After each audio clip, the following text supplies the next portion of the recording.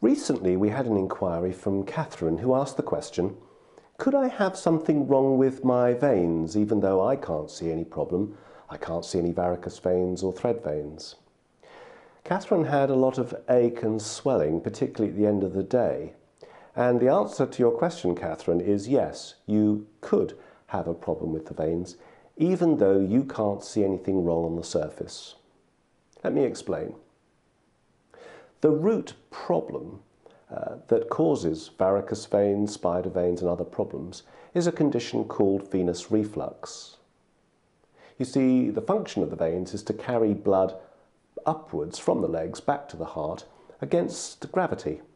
And uh, inside the veins, there is a delicate fold of the lining um, called a valve, which keeps blood flowing upwards in the right direction. Now, if these valves are faulty and not meeting properly, then gravity can sometimes pull the blood back down in the wrong direction. And whenever anything travels in the wrong direction in the body, we give it the name reflux. So, for example, some people get acid reflux, indigestion, when acid comes upwards um, instead of going downwards to digest the food.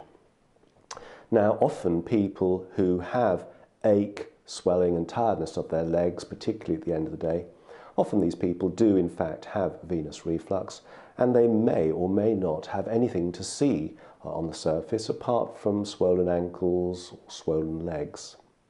Let me illustrate uh, the problem with a case history, a patient called Cheryl whom I treated recently.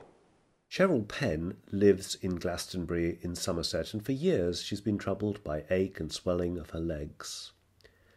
At the time that I saw her, her ankles were very swollen, and you can see the impression of her socks, indicating that she has a condition called edema.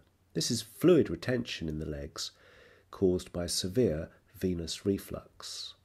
I treated Cheryl by endovenous radiofrequency ablation or VNUS Closure under local anaesthetic, and her legs look much better. The swelling has gone, her legs feel so much better. The quality of the skin is much improved. She's delighted. She calls it an ankle lift.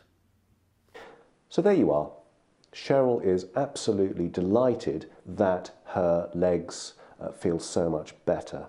And of course, they look better. The swelling and um, the uh, discoloration of her legs has improved considerably. And in fact, she wasn't aware that there was a problem with her veins until she'd had a consultation and ultrasound scan.